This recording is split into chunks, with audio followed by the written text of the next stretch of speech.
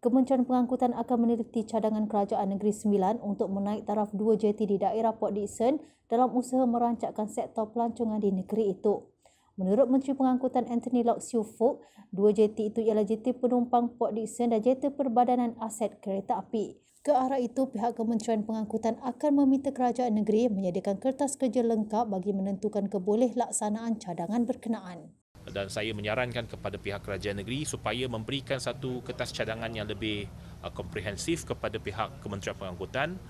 Uh, sama ada kalau pihak kerajaan negeri nak uh, meng, apa ni, mengoperasikan